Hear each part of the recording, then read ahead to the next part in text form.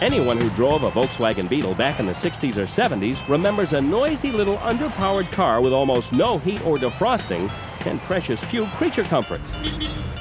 30 years earlier, when Ferdinand Porsche set out to build his people's car, he never dreamed that, in spite of its very Spartan approach to function, the Beetle's ladybug form would ultimately endear it to countless millions around the world. When technology passed the Beetle by in the 70s and tighter emission standards pulled it from America's roads, those who loved the bug reluctantly moved on to other less inspiring basic transportation. Over a decade passed before Volkswagen of America, in desperate need of something to catch the public's eye, came up with the Concept One. Introduced in 1994 as a show car, the Concept One was billed as a green machine that might someday run on alternative fuels or batteries. The public and press loved the design, but could not care less about its power plant. The folks back at Volkswagen's headquarters in Wolfsburg, Germany, insisted that this was not a new Beetle. Too much history, too many bad memories. Hey, folks, it's just a show car. But the public was falling in love all over again. Grudgingly, Volkswagen AG set to work on a worthy successor to the most popular car in history. And so, exactly four years after the Concept One was unveiled, the new Beetle rolled forward to meet the public at the 1998 North American International Auto Show in Detroit. Now, I have the pleasure to present to you one of the highlights of this year's auto show, the new Beetle. Let the new Beetle world inspire and impress you.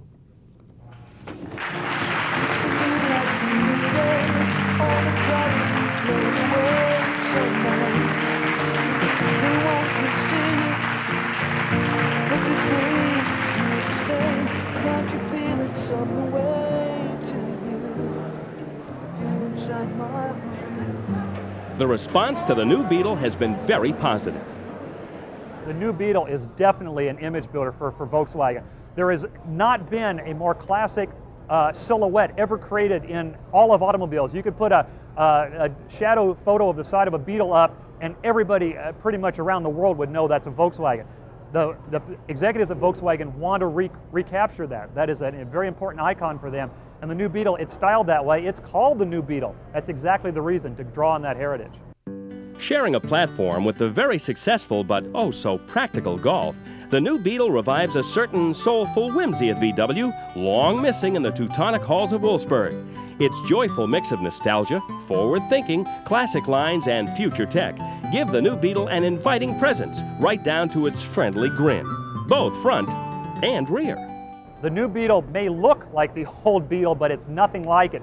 The old Beetle, of course, was rear engine, air cooled, and gutless. It got decent mileage, but it was something that you had to go pretty slow up anything steeper than a driveway. The new Beetle is front engine, it's front wheel drive, water cooled. It's decent powered, 0 to 60 in about 10 seconds. No, it's not a sports car, but it's designed to be a $15,000 very well built economy car. On the inside, if people who know the old Beetle will find the new one is larger. It's more comfortable. It's got amenities like air conditioning and power door locks available. There's even a little flower vase on the dashboard to uh, let you put your, uh, put your daisy in if you're, a, you're an ex-hippie.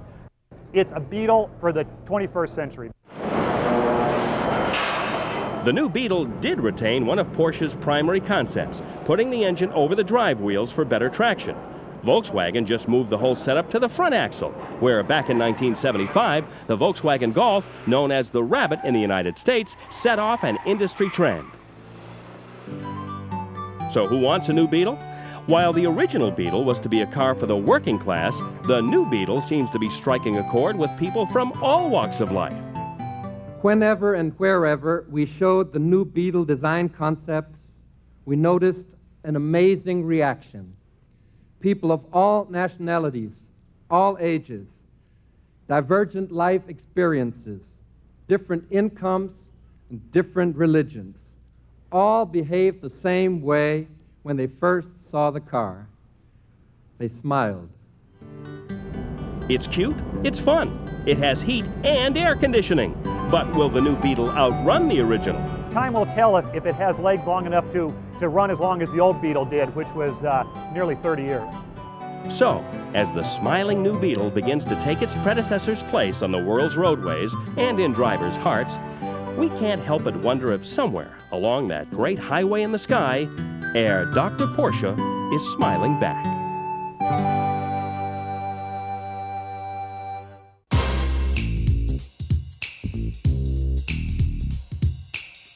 Oh.